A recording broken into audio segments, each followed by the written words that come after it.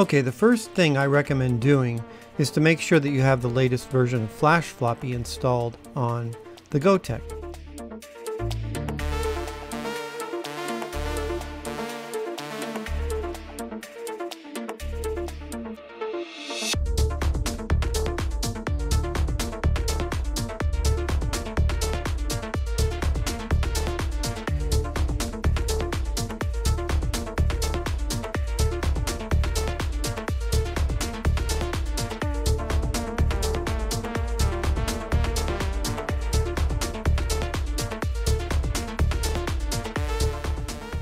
I have another video about how to update the firmware. It's really easy. You just need a thumb drive. And, uh, you know, the developer of Flash Floppy is always adding new things and it, he may in the future add some some optimizations or settings which would make some of the um, suggestions that I have later in this video uh, moot or obsolete because he uh, you know basically made Flash Floppy more compatible.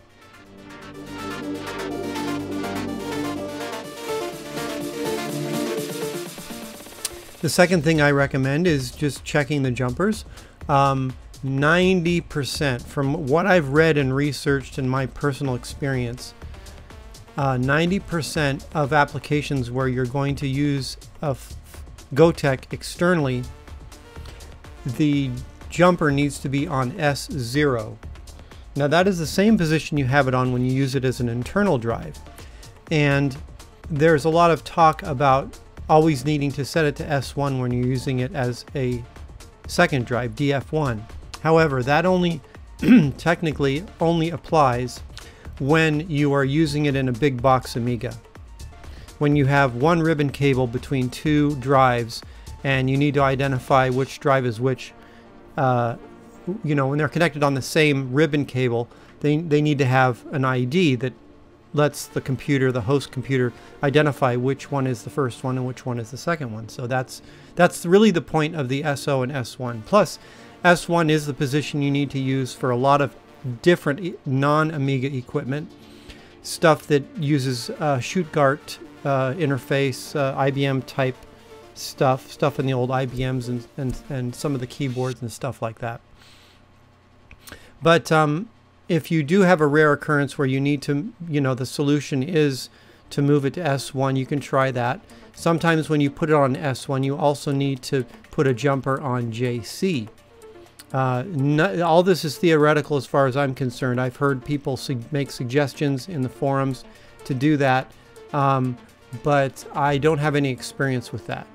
I've always been able to get these drives to work externally by using S0 and making some of the changes I recommend later in the video. And we're going to get to those changes right now.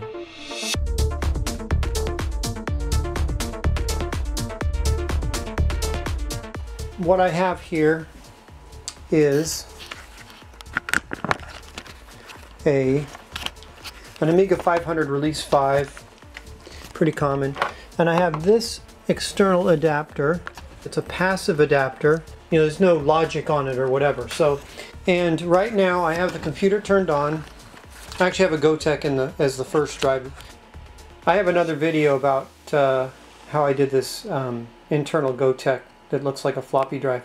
You can watch that. Just check my channel um, for that. But anyway, um, it doesn't matter if you have an actual floppy internally, a regular floppy, or one of those USB Goteks inside as well.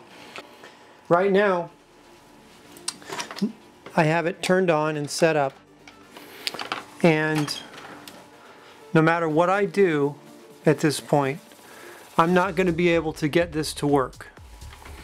And there's a few things you can do. One of the things you can try is to just make sure that you have a thumb drive in the drive when you turn the computer on and that it's not ejected. You know there there is a way to eject the, the simply selecting, using the selection uh, buttons or the rotary encoder if that's what you have. And the minute you do that, it actually ejects the disk. And if you and it will save that configuration if you happen to turn the computer off while the disk is ejected. Um, there's a little file uh, that that Flash Floppy writes onto the thumb drive that keeps track of what the last image that you selected was and whether it was inserted or ejected. I think it's actually literally have the file name and then a little and then like a capital E and a capital J after the file name to indicate that it was ejected when you tried it. So anyway, so it doesn't matter what I do, what image I select, it's not going to come up on my workbench screen because basically what happened is that the Amiga didn't see the floppy drive when I turned the computer on because I didn't have a disk in it. And even in this configuration, it's set up as drive zero because the cable is sort of doing the work of, of doing the, the drive select between DF0 and DF1. So the, the jumper is on S0 instead of S1. If I had this in an Amiga 2000 or such, I would put that on S1 if I want, or yes, S1 if I wanted this to be drive number 2 inside an Amiga 2000. Um, so basically, uh, that's one method you can use. You can make sure that your thumb drive is inserted and that it actually has a, an image selected when you turn the Amiga on and that could possibly fix your issue. I've, I've had reports of people, I can't get it to duplicate this particular issue, but I've had reports of people who uh, do that and it still doesn't work until they control Amiga Amiga restart the computer and when they do that then yeah, okay. Then it will see that it, it just accessed the, this floppy I saw. So that means that when the Workbench loads this time, it's gonna this is gonna fully function now. So basically what I had to do then, or what I've reported, people have reported to me that they've had to do, is after turning it on, uh, then they have to reboot the computer um, you know, have to, don't have to wait for Workbench to load all the way. It's just basically a delay that happens from the flash floppy firmware. The third solution to this is if you specify in the configuration file for the Gotek, the flash floppy, that the interface is an Amiga, this problem won't happen because flash floppy doesn't have to check the thumb drive. It doesn't have that delay and it will always detect the drive properly. And so the procedure would be to create a file on the thumb drive. You create an ff.cfg file on the thumb drive and then you simply type in the words interface equals Amiga. I believe that's it. Interface equals Amiga. Yeah. Interface, you put a space, then you put the equals sign, then you put a space, and then you put Amiga. And then you just save that file, ff.cfg, uh, on, on this, this thumb drive, stick it in there, turn the Amiga on, it will load that uh, configuration file, that piece of information, that configuration option into the external drive, and then from then on, we'll immediately know that it's Amiga, and supposedly that is the solution. That was brought to my attention because I sell these on, excuse me, I sell these on eBay and a couple of my buyers tried to use them externally and had troubles, came to me for advice, and at the time I didn't have it. Fortunately, one of the gentlemen who reported it to me worked with me on the issue, told me about the rebooting uh, issue, uh, fix for it, and then I decided to go search, excuse me, search for the, the uh, solution.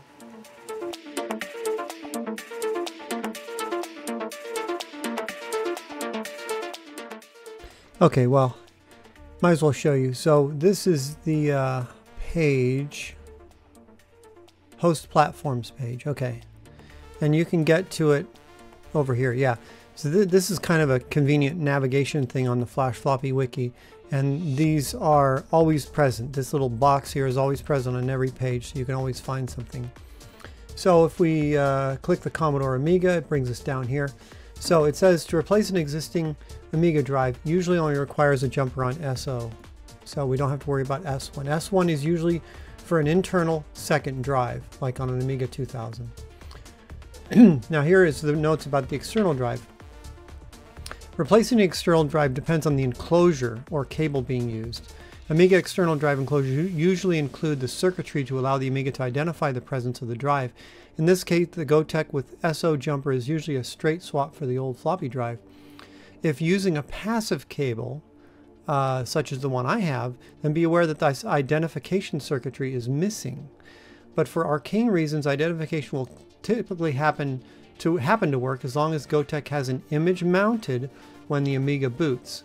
If you're having problems with your drive being identified, see forcing drive identification. So we're going to go down here and this is where I mentioned it. So uh, in these, okay, so using it as an external drive with passive interface cable, if flash floppy does not assert ready during boot, example, eject at power on, or no USB stick, or too slow to initialize, which is what apparently my buyers have been experiencing. And the initialization is really just the detection phase.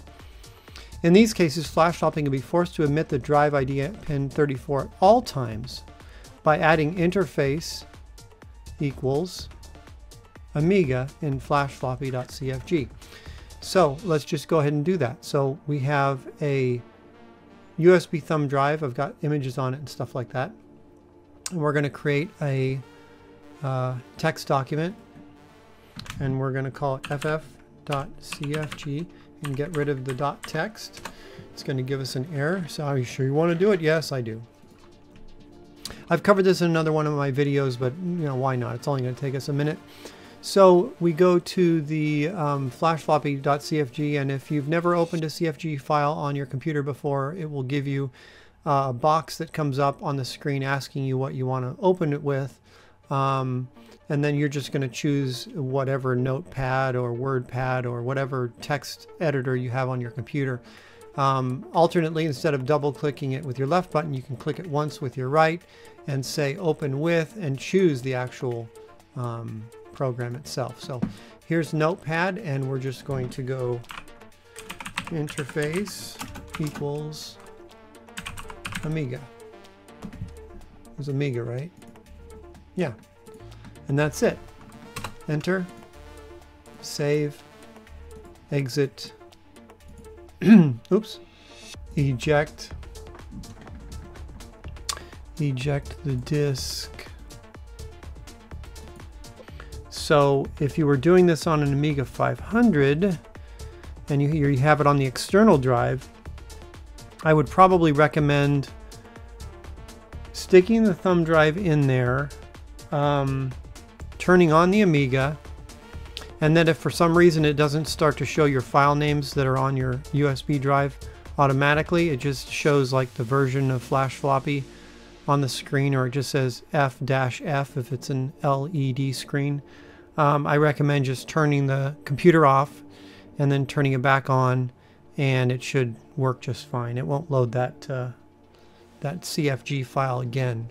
So that is how to do to deal with that. that. That's going to solve your problem because it'll eliminate uh, delay and we'll go straight to uh, recognizing that it's an Amiga drive immediately by doing that um, by doing that uh, RDY signal during boot. So it's some sort of thing that has to do with the cable as well. Yeah. So anyway, all right, well, that's it, and uh, we'll see you soon. Thanks. Bye.